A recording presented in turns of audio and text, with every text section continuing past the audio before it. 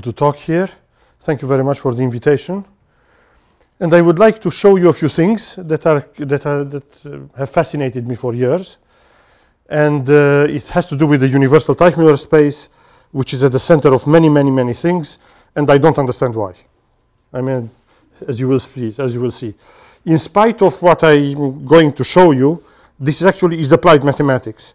But I, I strip the application till the very end if I ever get to them.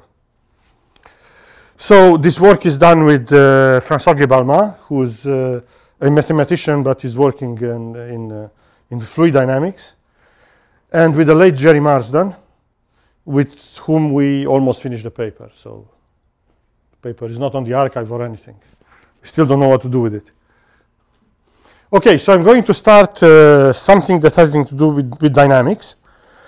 Uh, this is the Lagrangian counterpart of what is called Lie Poisson reduction or the Kirillov Kostant-Souriau form, duals of Lie algebras and, the whole, and, and all of this.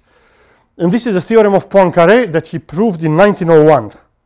Uh, of course, Poincaré didn't speak like this, but trust me, it's really all there. Right? Um, it's amazing that uh, Poincaré and Lie never seem to have spoken to each other, even though they both did the same thing. One did it on the Hamiltonian side, the other one on the Lagrangian side there is a certain advantage using the Lagrangian uh, method because in physics you want uh, to use variational principles. And lately, because variational principles have been proven to be extremely useful in numerics. But I will not show you numerics. I will make occasionally comments on this. So here is what Poincaré did. So assume that you have a Lagrangian L, it's just a function, on the tangent bundle of a Lie group. So the configuration space is, is, is a Lie group. And then uh, if it's left or right invariant, then uh, you restrict to the Lie algebra, which is a tangent space to the identity, and you get another function. And uh, let's take a curve g of t, and then take the derivative of it and bring it back to the identity, either right or left. Uh, I insist on right and left because if you do continuum mechanics, it's important. In fluids, you do right, in elasticity, you do left. And there are relative sign changes, which you have to take care of. Okay, so here is what Poincaré says. The following uh, are equivalent. G of t satisfies the Euler-Lagrange equations for G, for, for L on G. The Hamilton's variational principle holds. So this is the delta. This is, uh, as you know from calculus of variations, just a functional derivative, the Frechet derivative if you want, of this functional on the space of curves equal to zero for variations with fixed endpoints. The Euler-Poincaré equations hold. Here they are. ddt del L del xi equal to plus or minus. Plus goes with left, minus goes with right. Add star xi del L del xi. So my notation is the following. Add xi is the linear map. Take the bracket with xi. Add star is the dual map. And there are no hidden signs like people in Lie theory do sometimes. And the Euler-Poincaré variational principle holds, which is delta of L of xi of t dt equal to 0. But there is a catch for variation delta xi of the type eta dot plus or minus xi eta, where eta is an arbitrary path in G that vanishes at the endpoints. Okay, so let's see where the content of the theorem is. Obviously, 1 is equivalent to 2 has nothing to do with the Lie group. This is classical mechanics. Uh, you can prove that 3 and 4 are equivalent almost in your head. That's how easy it is. I mean, let's do it. If I take this, what do I get? I get delta L delta xi delta xi. But delta xi is eta dot plus or minus xi eta. I plug it in and I integrate by part here. So I'm going to get this difference times eta, but eta is arbitrary. So therefore, this is the equation. This is if and only if. So that's very, very easy. Now, why is 1 and 2 equivalent to 3 and 4? Poincaré's uh, contribution is exactly 3 and 4. Uh, look what's happening. If L is left invariant, for example, I multiply by G minus 1 here, so this is just the identity. I'm not going to write it. So then I have g minus 1 g, g dot. So I am with little l. So obviously this integral is equal to this integral by general nonsense. So where, where what, what do I have to prove? Is there anything to prove? Yes. This. Delta xi is equal to eta dot plus or minus xi eta. So where does that come from? This is not difficult, but it's not trivial. So uh, what's happening here is the following. Well, you have the variational principle, which is like this and you have to take all variations that vanish at the endpoint. But when you take these variations, you bring them back to the identity by g minus 1. So you get Lie algebra elements. The question is, if you take all the delta g's and you do g minus 1 delta g, are you going to get all the Lie algebra elements? The answer is no. Lemma, if and only if delta x is of this type. That's where it's coming from. Okay, so uh, this is uh, this is what you are supposed to do. There, is an advantage here because that depends only on half the variables, right? I'm reducing. Those of you who do know symplectic geometry, clearly there's a reduction hidden here. Okay, and there is an advantage here to a certain extent that you have replaced uh, geometry by analysis. Instead of symplectic geometry, you deal with variational principles. Okay, so now uh, when we finally understood this, uh, what Poincaré has done long, long time ago, um, incidentally, Poincaré doesn't give any reference and doesn't give any motivation. Never wrote anything before on it, never wrote anything after on it. I don't know why he wrote this paper. It's just there. And uh, uh, you would say, well, I'm just going to go and uh, to the libraries. There are walls of uh, calculus of variations book out there. I'm going to pick up some nice theorems and I'm going to apply them and get theorems. You know how many theorems are about this variational principle? Zero. Not one. Uh, it's not a standard one, it's a constrained one. Okay, now, if you have solved these equations, have you solved the original equation? The answer is yes. This is the miracle of reduction. Well, here is the, here is the recipe in four steps. First, you restrict, no big deal. Second, you solve the Euler-Poincare equations. If you can, if the system is integrable, for example, only algebras, then yes, then you've solved it. If not, well, you do it numerically. Now, the next thing is you solve a linear equation with time-dependent coefficients.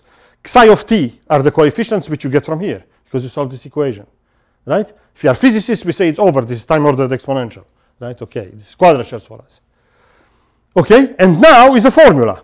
Then the solution of the original problem in g and g dot is given in the following way. Here is the, here is the tangent vector. v of t is g0, g of t, psi of t, with initial condition g0, psi 0. Finished.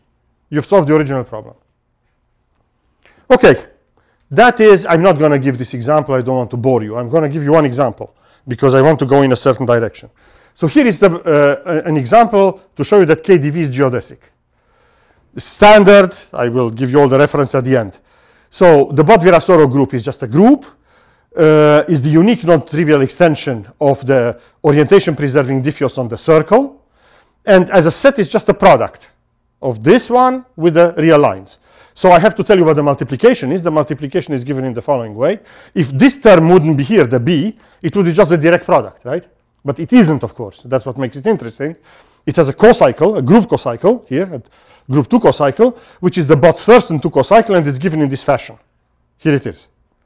Of course, this group has a Lie algebra, and the Lie algebra is also an extension.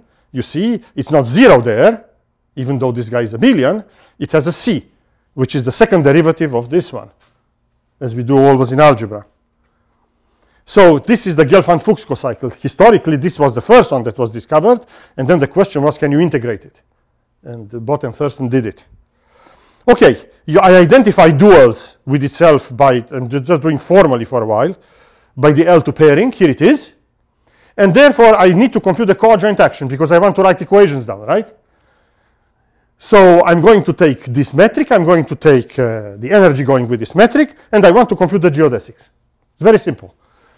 And then I have a formula. The formula has to do with the coadjoint action. Here it is. It's given explicitly here. And what you get is these equations. This is not zero because this, it's a star there. Careful, right? It's not bracket with bracket. No way, right? It's a star. Even though I identify them. So these equations show are like this. The second equation is c dot equal to 0 because there is a 0 there. c is a constant, this is kdv. So the first one that I'm aware of that has done it, it's, a, it's in a very obscure paper, some conference proceedings paper of Segal. The best way I have seen it done is by Ovsienko and Khesin, Boris is here. Long, long time ago. If you take, instead of uh, L2H1, you get a Camassa-Holm equation, which is the result of Misiolek. Okay, so we want to, let me put my geometer hat on now. And I say, well, I have a Poisson space, I need to compute the symplectic leaves. I know that the symplectic leaves are the coadjoint orbits, therefore I need to compute the coadjoint action, and I compute the coadjoint action, and here it is, explicitly written down, and here is the Schwarzian derivative. This is the first instance that something much more serious is going on. This is far from being formal. I mean, there is much more going on than meets the eye here. And this is the first indication. That you, you don't get this for free, usually. There's a reason why this comes up. And of course, you can write the symplectic form down if you want. It's not, a, it's not a big problem. The formulas are less important than the fact that they exist. And this is the moduli space of uh, all, the, all the orbits. So let's look at them. There are hyperbolic orbits, etc. There are elliptic orbits, the open intervals. And there are the parabolic orbits here. So which, which model are you talking about here? Can you just go back and Uh, is the moduli space of all the orbits. of, all- of what? coadjoint orbits of the group, of the Bott-Virasoro group on the dual of You're not, you're history not talking algebra. about uh, uh, KDV anymore. right? No, KDV is a geodesic on a specific orbit.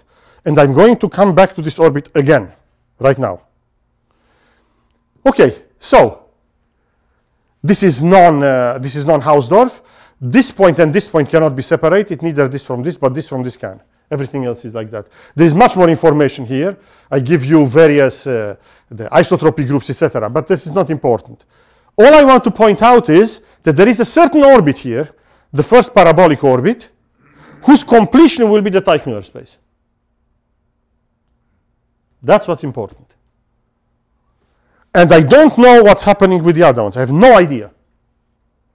Absolutely no idea. This, uh, there are many people who have classified this in various shapes and forms. Uh, this is the best one I know because, you know, if you have a bunch of beach balls, you can uh, classify them by color or by size. It's not the same thing, right? But that, this is the best one I have seen, and this belongs to these three uh, Hungarian guys, Balog, Feher, and Palla. It's almost the same. I mean, we did minor things. Okay. All right. So now I want to understand that parabolic orbit. This is my, this is my goal. So for, do, for to do this, I'm going to have to really step back, and I have to give you a crash course in the universal Teichmüller space. And then I'm going to show you that it's not going to work. Then I'm going to show you what Takhtajan and Teo have done in order for it to work, and then I'm going to look at the geodesics. Okay, so that's the plan. So my notation is that this is the Riemann sphere, this is the interior of the disk, this is the exterior of the disk. My spaces are, as usual, L1 and L infinity with the duality pairings. And each time I replace an L by an A, it means analytic of that class. Like A1 means L1 analytic. Okay? And there are various spaces that float around here. For example, the dual of this analytic space is this quotient. And I denote this by n because this is going to be a null space of something that you're going to see in three slides later. And they, they have names. They are called the infinitesimally trivial Beltrami differentials. Don't ask me why at this point.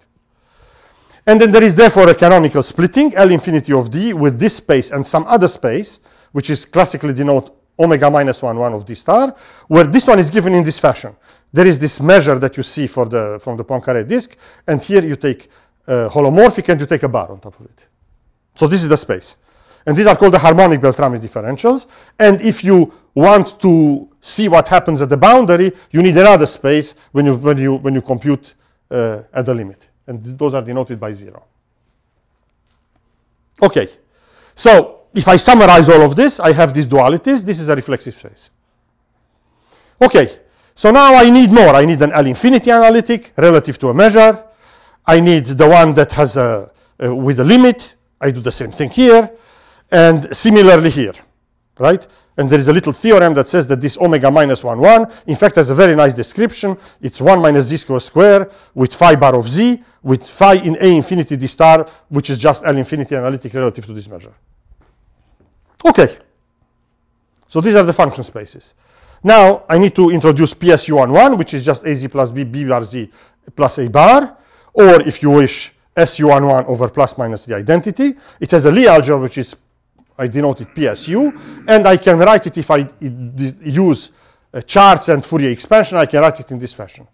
And there is a Lie algebra involved here, right? If you look at it, this is just the bracket of vector fields, uh, except that the sign is wrong. It's minus the usual sign, as it should be for vector fields. Okay, the next object that I need to, to recall for you are the quasi-conformal maps on the disk. So I uh, orient S1 the usual way counterclockwise, and I let B1 be the open unit ball in L infinity. And now I let phi be an orientation preserving homeomorphism that has all directional derivatives uh, in L1 log. Then I'm going to say that phi is quasi-conformal if and only if there is a mu in B1 such that this Beltrami differential equation is satisfied. Now, of course, this is not the definition of quasi-conformal. This is a major theorem. But I'm not going to go to with the definition of quasi-conformal, with the ratios of the semi-axis, etc. I'm going to quote this theorem. That's how I'm going to use it. There's a theorem that says quasi-conformal in the Alabers, if you want, is equivalent to this. Any quasi-conformal map extends to an orientation preserving homeomorphism of the closed disk. This is the first in, uh, instance that something is happening to the boundary to the circle. Much more will happen in a moment.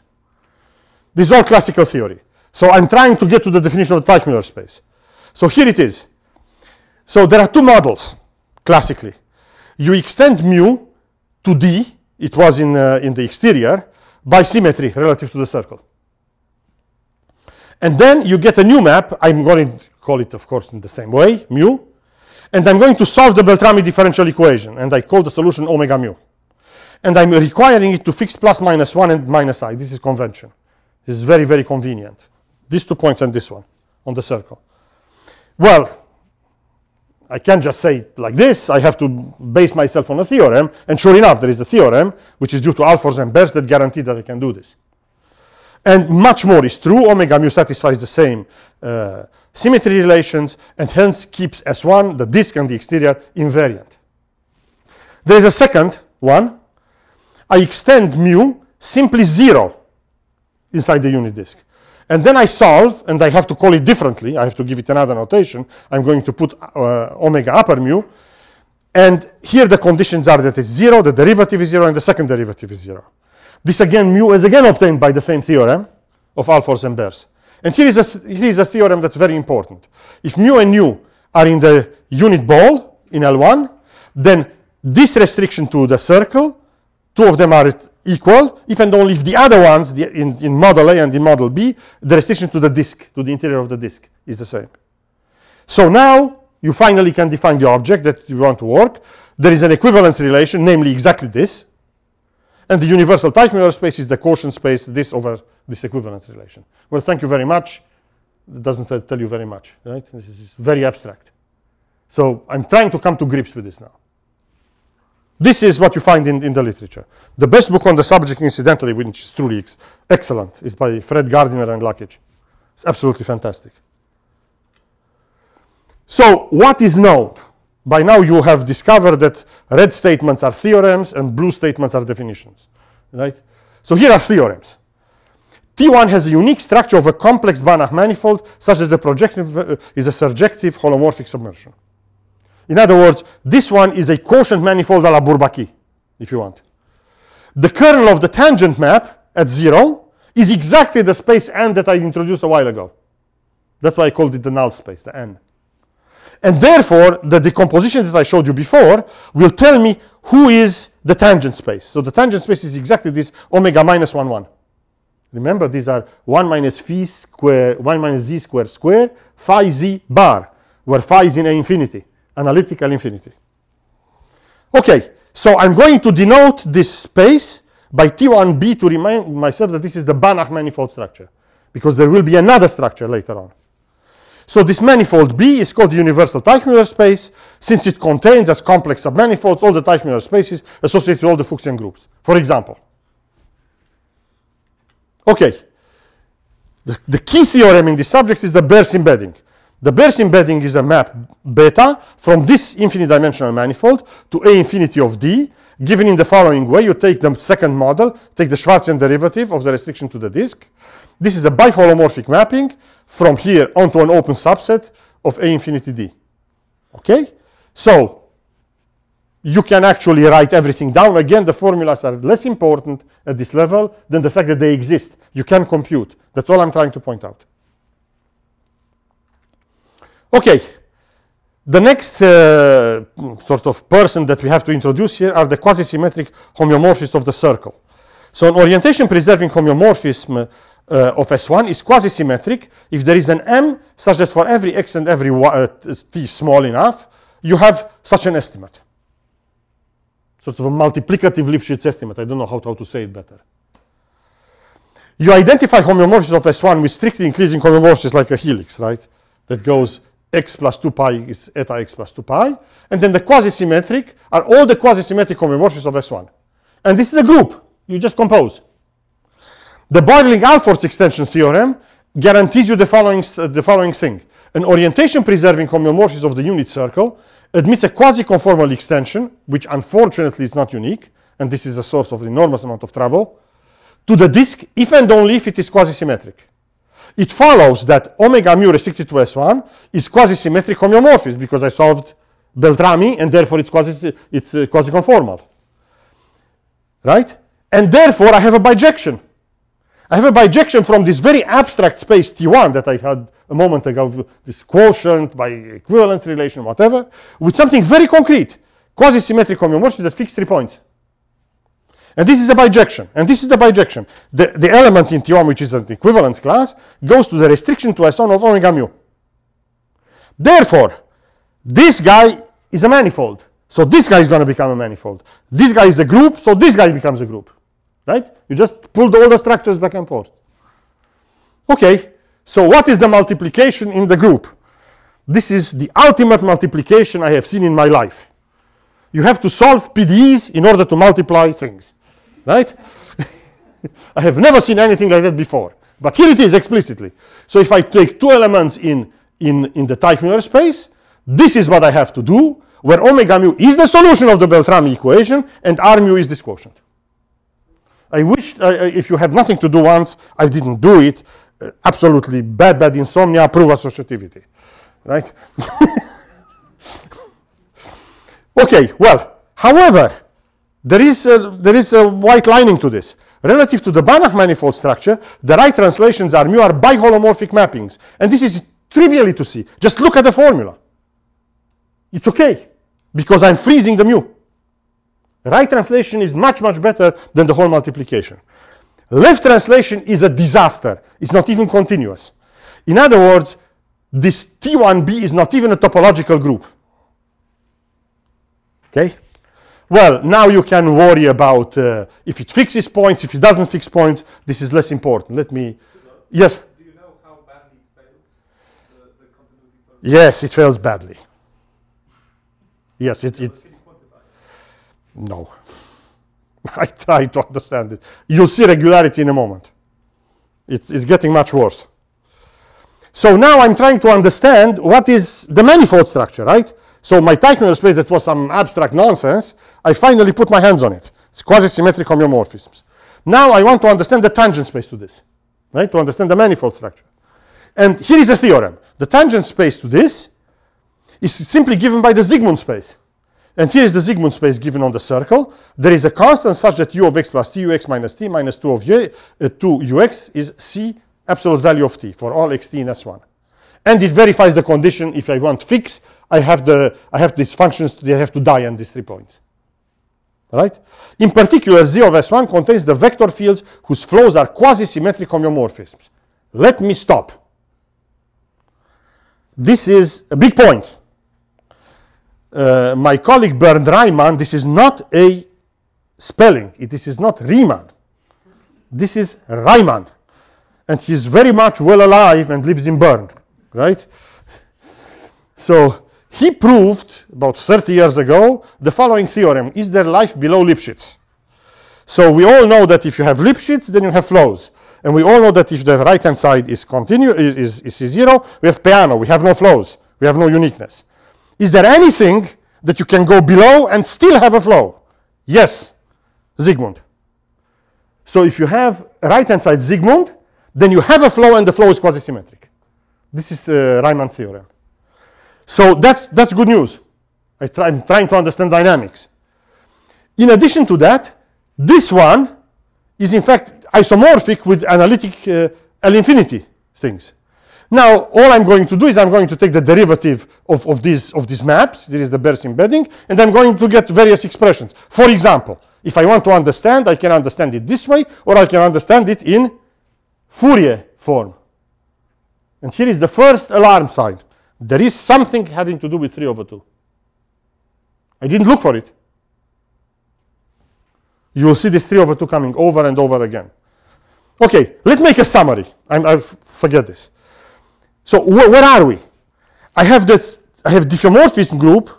I have the Sobolev diffeomorphism with uh, index three bigger than three over two. This is the critical index. I have C1 diffeomorphism. and I have quasi-symmetric. In fact, I have another guy here that I erased. The symmetric and quasi-symmetric. There's another guy that I. There, there's no time to, to discuss it. Okay, what do we know? This is a Fréchet Lie group. This is a group of orientation preserving HS diffeomorphism, which is the HS Hilbert manifold structure. And if you want to do, you can do WSP, right? Uh, this is endowed with a C1 Banach manifold structure. So each one comes with its own topology. All these manifold structures are real and not complex. All of these, these are the symmetric ones that I forgot to erase here, are topological groups with smooth right translations. This has a smooth right translation and is not a topological group. All the inclusions are smooth. The two first inclusions have dense range. The last inclusion is a quasi-embedding. That means injective immersion whose derivative has a closed but not necessarily complemented space. So it's not an immersion a la Bourbaki. So you don't have good theorems about it. Okay, let me skip this. So there is one more bit of information, the complex structure. Here it is. Recall that the complex structure is determined just by requiring uh, uh, that the projection be holomorphic submersion. So I just multiply by i. Well, I have to see what's on the quasi-symmetrics. No problem. On the quasi-symmetrics, here is the, is the almost complex structure, which in fact is the complex structure that goes from T. Here I forgot the TE. Uh, and it's given in this fashion, which is nothing else but the Hilbert transform in Fourier representation. Okay. So now, this is classical theory. Now we come to 1990 when Nag and introduced the so-called Weil-Petersson metric, Weil-Petersson metric, uh, inspired by the situation in finite dimensions. So they write this formula down. You look at this formula, just like this.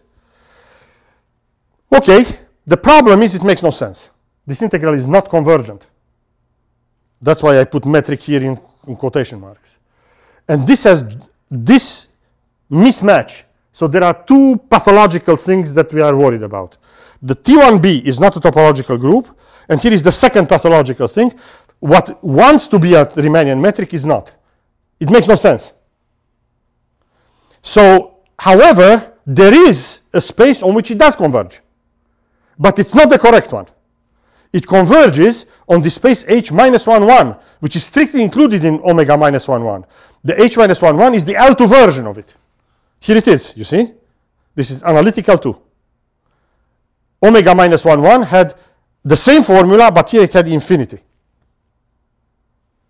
Okay, fine. So this is what's going on. And uh, you can try to see now formally everything. You can write the metric. Again, you're seeing the 3 over 2. Uh, you can write it uh, in terms uh, of functions. You can write the real metric. You can write the symplectic form. So this has generated a lot of papers. Dennis Sullivan has written a lot about this, incidentally. So at a certain point, you give up. I mean, I, I, I, for years I worked on this also. It just doesn't work, right? And then Takhtajan and Teo basically said, if you can beat them, you join them, right? And I'm going to show you what they did. It's an absolutely amazing paper. It's one of the best papers I read in a long time.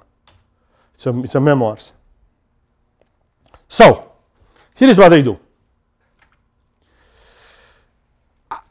Well, it's just not convergent. I mean, I'm sorry, there is nothing I can do about it, right? Uh, whether I like it or not, finished, right? But it does converge on L2. So I have to put L2 there at any cost. So the, their goal is to define a Hilbert manifold structure on T1, the same set, which is modeled on A to D. So how are they going to do this? So let me give you an idea how you do it on the, on the space A infinity D, which is a linear space you look at all the translates of phi plus a to d, right? And you declare them open. right? You forget this is a vector space, except that there is a plus here, right? And you declare them open. And this now becomes a manifold modeled on A to D. And then they use the same idea to play with H minus 1, 1 instead of this one on the same set. Please notice that they are doing something very, very clever. When we are working with diffeomorphism groups, and uh, many of us here that I can see have done this, you know, you, you don't like something, you put diff s diff s plus 1, right? You lower, you raise. Yes, you can do that, but then, in fact, you're not on the same set, right? HS plus 1 diffeos are less than HS diffeos. I'm sorry, right? It's just smaller. Here, nothing has happened. The set T1 remains the same. Nobody's thrown out. It's just that the structure is changed. So they manage to produce now a Hilbert manifold, which I denote T1 with Hilbert as opposed to Banach, and modeled on this one, but this is A2. Okay. So does this work? So they convince you in a very long paper that yes, and they prove beautiful theorems. Let me show you one. Let me show you a big one, right?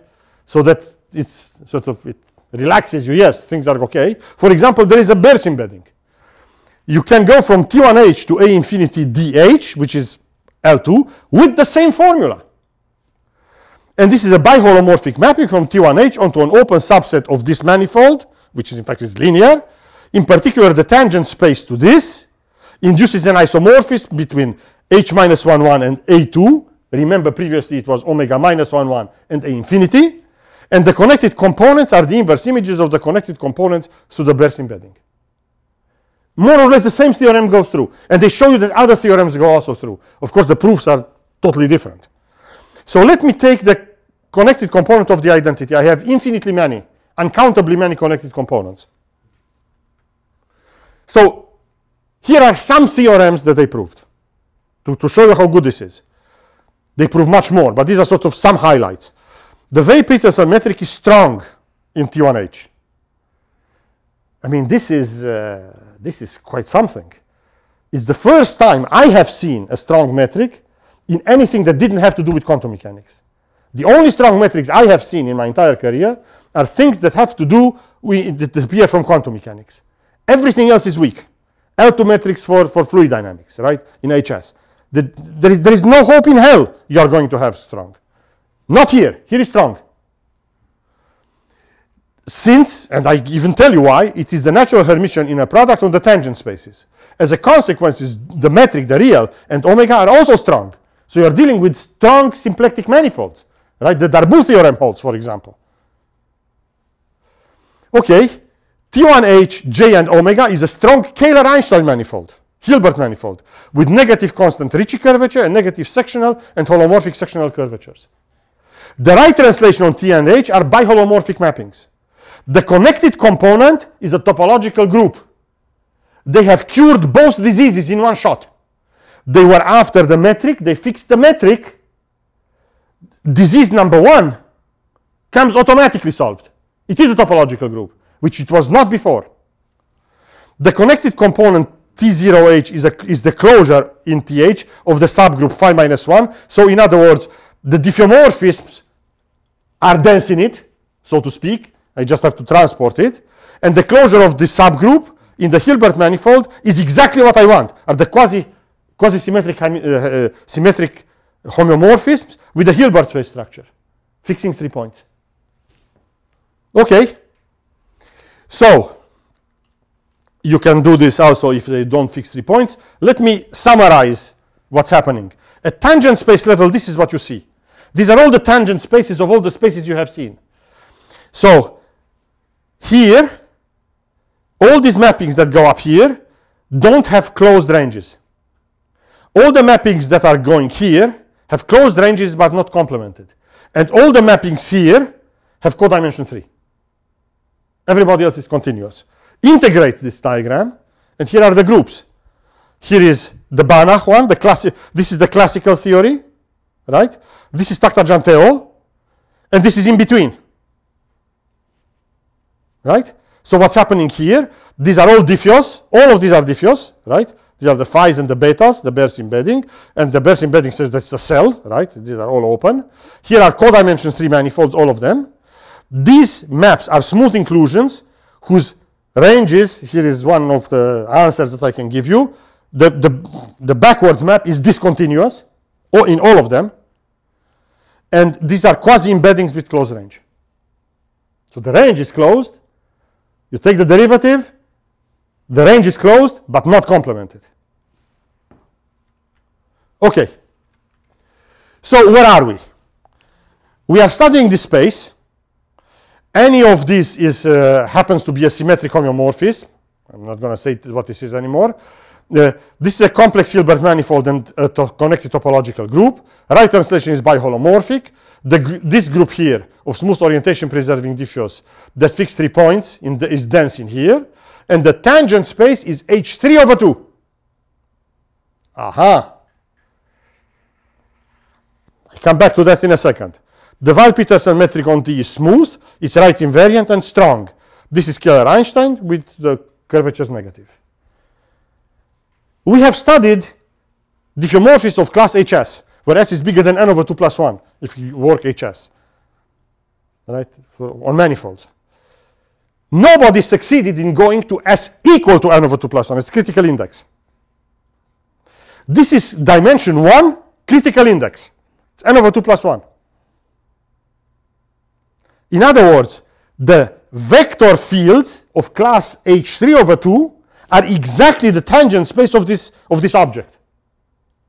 So how do I even define an, an H3 over 2 diffeomorphism? I don't know, because I can't just take the map to be H3 over 2. I can't guarantee that the inverse is H3 over 2, right? Whereas if it's 3 over 2 plus epsilon, I can, because of Sobolev embedding. Okay, so this is really diffeomorph. I'm looking at diffeomorphism in one dimension of class 3 over 2. So this is a Hilbert space. Zero means it uh, dies at three points. It's a Hilbert space of real vector fields identified with real functions. It has also a complex structure.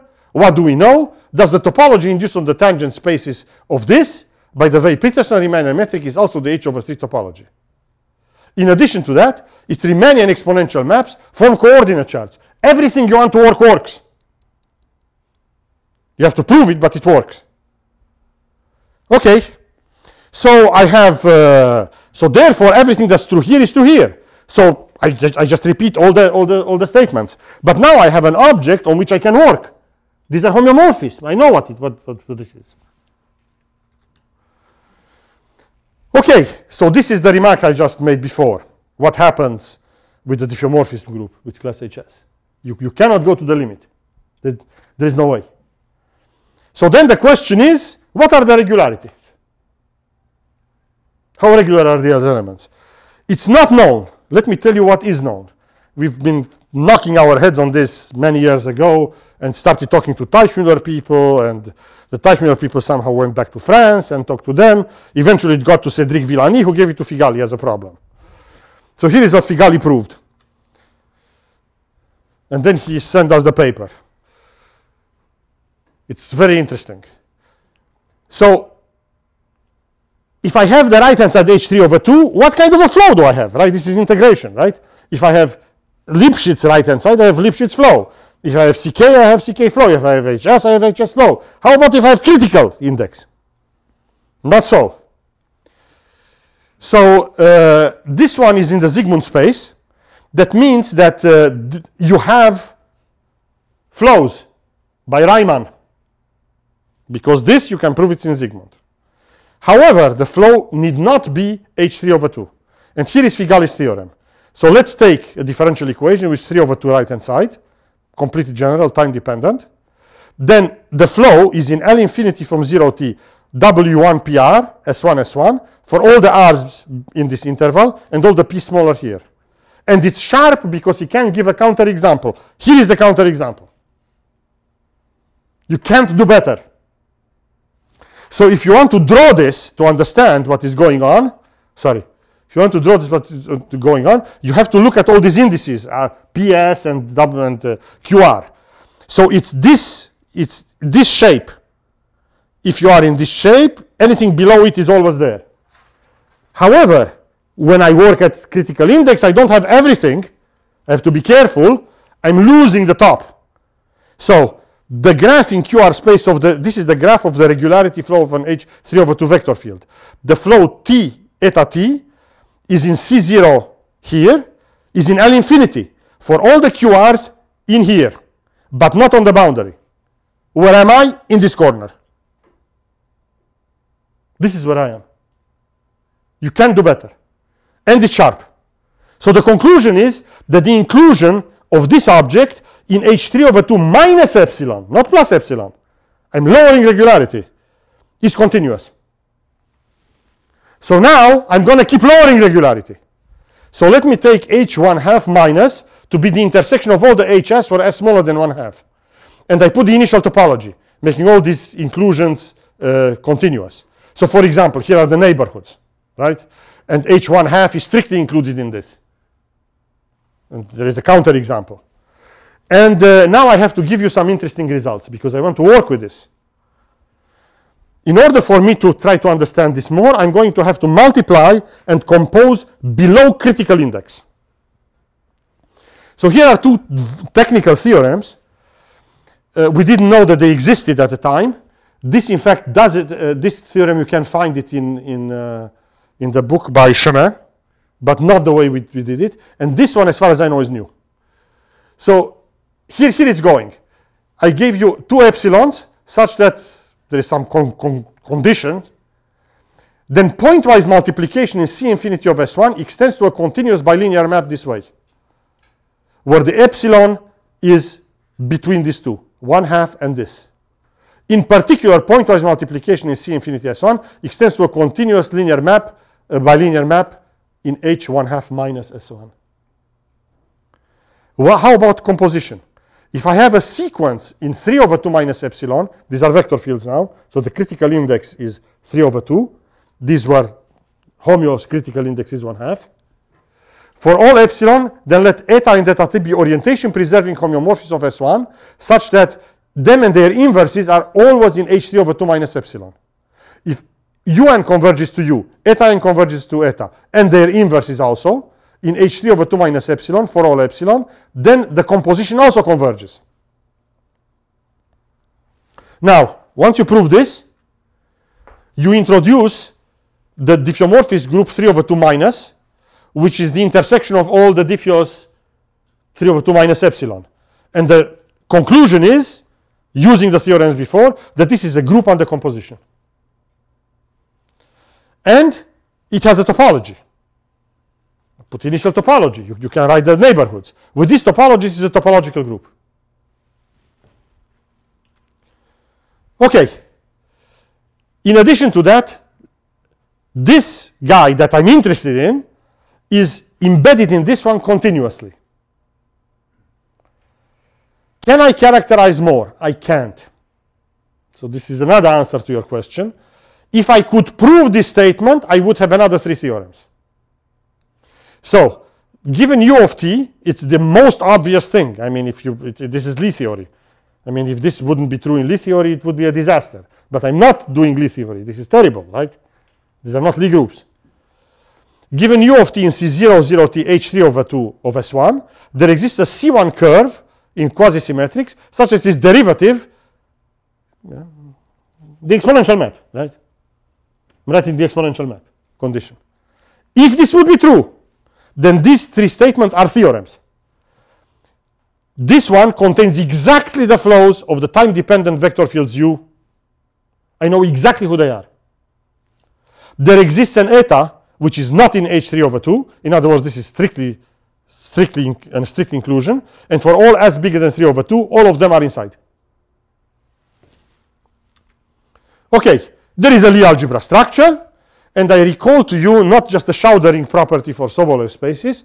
There is a theorem that I have found only in Palais' old book in 68 that tells you that you can multiply functions ht, hr in min rt, but if r is bigger than or equal to minus t. I've never seen this except in Palais' Foundations of Global Analysis. And I want to use this. Okay, so now I'm, I'm set up. I have everything. My metric is okay. So I want to look at the geodesic of the Weil-Petersson metric. So what can I say? So here is a theorem. The Riemannian manifold, T1 with the Hilbert structure and G, the metric with the Hilbert structure with the convergence Hilbert, is geodesically complete. A long time existence. The geodesic spray Z of the metric GH is smooth and there is an associated Levi-Civita connection. The curvature and Ricci tensors are bounded operators. Moreover, since the sectional curvature is negative, there are no conjugate points. So for example, here is the formula with all the numbers I kept telling you, it's Kähler Einstein. Here it is. But now I want to write this down, right? Think like Arnold has told us 40 years ago. I have my diffeomorphism group and I have a geodesic problem. And then what I want to do is I want to look in the spatial representation, like we do in continuum mechanics. And then we get the Euler equations, right? And if you push this further, then Ebin and Marsden in 1970 proved that if you take it seriously, you can prove theorems, remarkable theorems. So they were the first to prove well-posedness on any manifold. They were the first to prove things that uh, even today are being rediscovered. Like in the material representation, the dependence on initial condition is C infinity, even though in the spatial representation it's only C zero. And I can give other, other theorems of the type. So I would like to understand this equation, right? I have my group, quote unquote, my Lie group, quote unquote, and I know how to do it. Well, I know how to do it because I have a formula. I know how to compute this. These are the Euler-Poincaré equations. So uh, these are the, what I would call the Euler-Weil-Petersson equations. Okay, so what are they? So you, you write it, and of course there is a certain operator here, because it's not L2.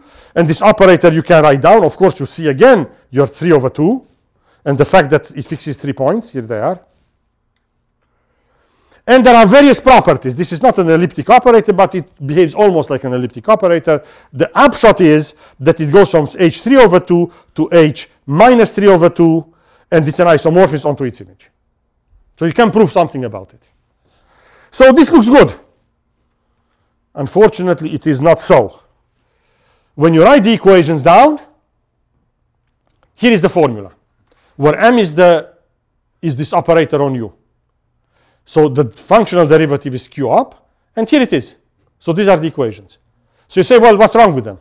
They make no sense. No theorem will allow you to multiply m with u prime and m prime with u if you are at, uh, if you are at u at 3 over 2. Not weak, not strong, not in any kind, not in any way, shape or form. Right? So what are the Euler equations? Right? Like the KDV equation, right? I gave you a group, I took a metric, I computed the geodesics, and then I went to spatial representation. What did I get? KDV. In fluid, I do the same thing. I do the same thing here. What do I get? Well, certainly not this equation, because this equation makes no sense.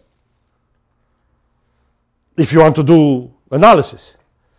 So what you do now, you have to start invoking various things, including the technical theorems that I've told you before. Okay, so if gamma x and p is uh, uh, a Weil-Petersson geodesic, there is therefore, as a function of t, it's a curve in H3 over 2. It is smooth because the spray of the Weil-Petersson metric is smooth. So that means that gamma dot and gamma double dot are well defined. Okay, so there is a smooth spray, so you can write it. So this is a, some kind of a Christoffel operator, if you want to, right? And by definition, I have that this is the Eulerian vector field given by this Lagrangian vector field, material vector field, Eulerian vector field. Exactly like in, in continuum mechanics, like you do in elasticity and in fluid dynamics. Okay. So the multiplication on the left is not smooth. So the derivative of eta t need not be differentiable at all. When you see that there is a multiplication on the left there. But you can prove nevertheless something. And what you can prove is the following thing, is that if gamma t is a geodesic of the Weil-Petersson metric, then the continuous curve, bringing it back to the identity in h3 over 2, is continuously differentiable in h1 half. I'm losing a full derivative. And this derivative is given by this equation, where z is the geodesic spray that you have to compute at the identity. So there is, an, there is a PDE. In fact, it's integral differential PDE, right? Because there is a There's an operator there. Okay, this, it's 50 minutes. Let me just speak. This is where the application comes from. In uh, Mumford has been very much interested in uh, pattern recognition, computer vision, and, and questions of this type. So uh, he proposed, and now it's more or less universally accepted, uh, that if you have two images, you have to be able to, uh, to distinguish between them with a certain distance. Let me make it clear. Imagine, I mean, this is not so far, this is not so far-fetched, by the way, this is going to come. I, I know it from the guys at Google. I mean, pretty soon when you go to an ATM machine, you forget, PIN forget anything, he looks at you, right?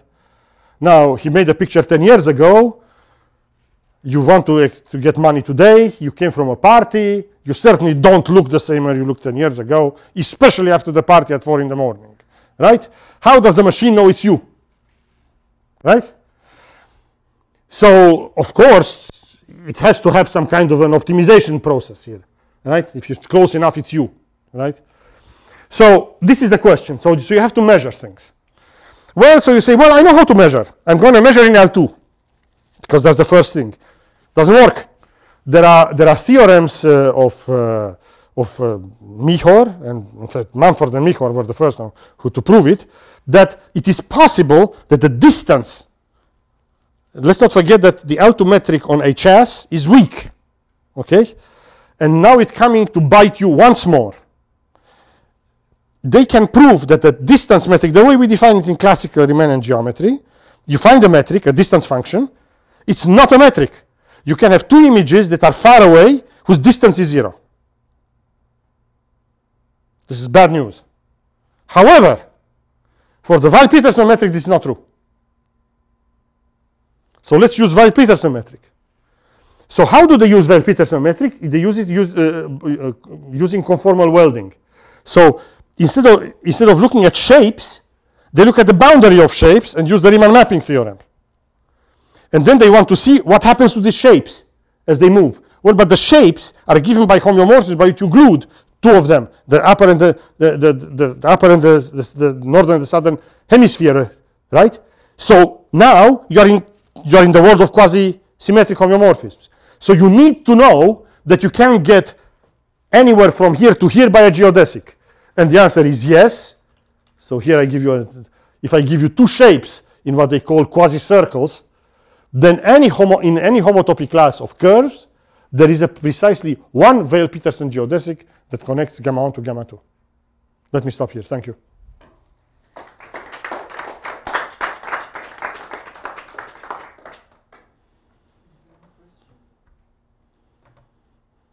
Is there any intuitive reason why, for recognition, you need to have a geodesic or you need to? Least square approximation like first linear algebra. I don't know what else to say. I mean, it's, it's, it's, very simple-minded, but it works. It works. So I, I have worked on, on, on this in on, on pattern recognition and image storage and uh, another thing from a completely different point of view. And uh, it is, uh, it, it, it really works. I mean, methods of mechanics, of classical mechanics, really come in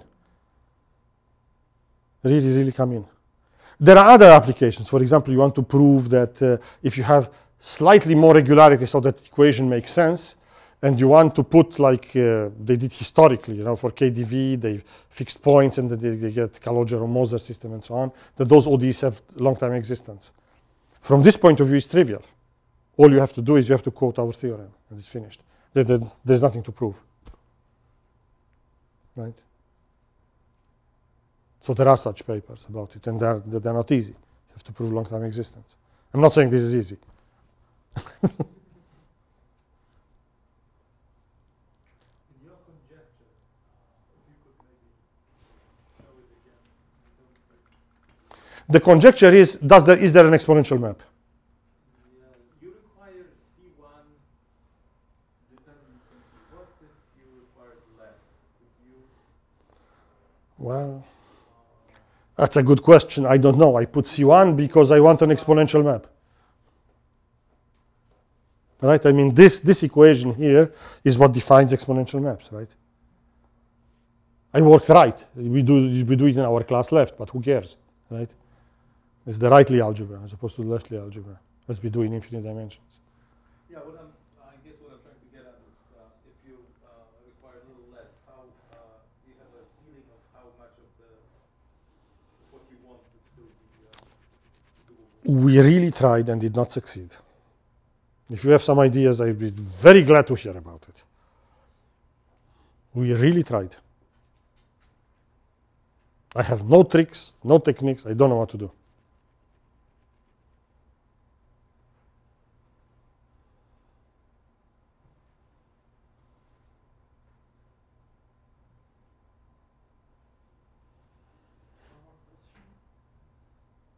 So let's thanks. Ex- Thank you very much.